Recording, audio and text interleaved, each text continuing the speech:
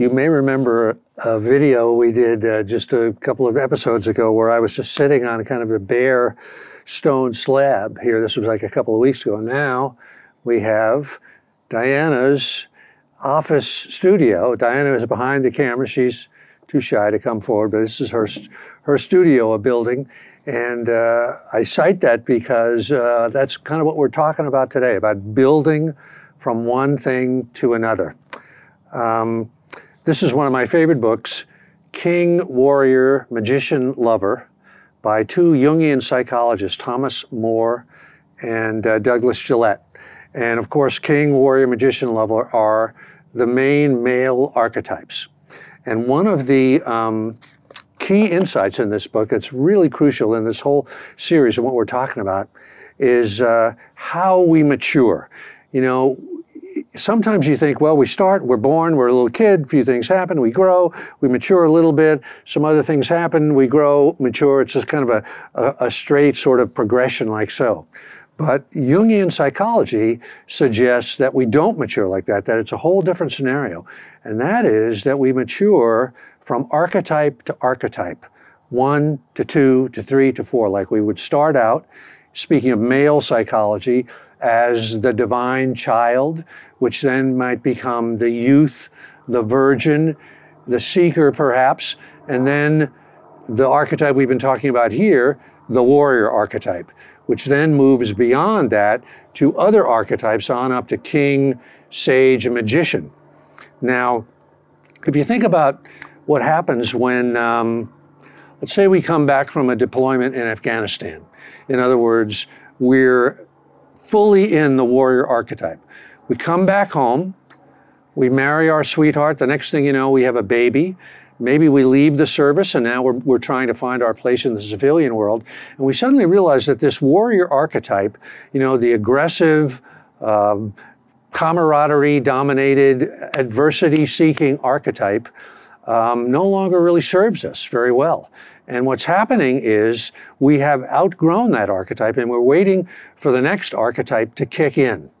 And it does. And what is, what is the next archetype after the warrior archetype? It's a really good question. Sometimes it is the father, if we have a child, and we move on to that. The mentor, where we, a teacher. The seeker, we may, we may start to ask questions. We've come back, say, from a deployment or from some, some warrior-esque experience, and we're starting to ask ourselves, what did we do there? What did it all mean? Who are we? Where are we going to go from here? We start asking those questions as we move on to the next archetype. Now, one of the things that is very encouraging to me about this way of, of, uh, of thinking of things, of evolving from archetype, maturing from archetype to archetype, has to do with the moral and ethical dilemma of the warrior archetype. Because we've seen in earlier episodes when we talked about Alexander, how the things that we might call the virtues of a warrior, aggressiveness, fidelity to comrades, obedience, the willing seeking out of adversity, that are virtues in the warrior archetype can become vices when the soldier becomes the stormtrooper or the secret policeman or the vigilante and the commander becomes the despot or the tyrant. So, what's hopeful to me is if you think about when you move beyond the warrior archetype, the warrior archetype essentially is a tribal archetype. It's an us versus them archetype. It's a win at all costs archetype. It's an archetype that says, we are the good guys, those guys are the bad guys, our job is to defeat them.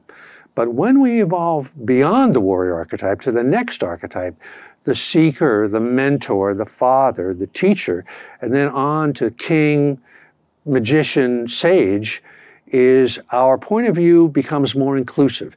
It becomes capable of embracing the other, the enemy. And in fact, the great kings, Alexander at his best, Porus, even I would include presidents like, say, Lincoln, second, second inaugural address with, with charity for all, with malice toward none those people who have moved beyond the warrior archetype are capable of inclusion, of including the former enemy, of including the other.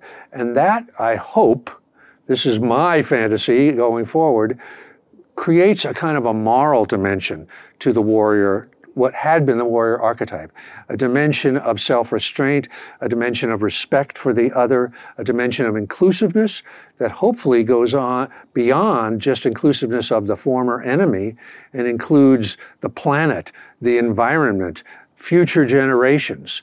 And that is, to me, the only real hope that we have morally in this as we evolve. So the other last question in this is well, what happens to the warrior archetype if we move beyond it?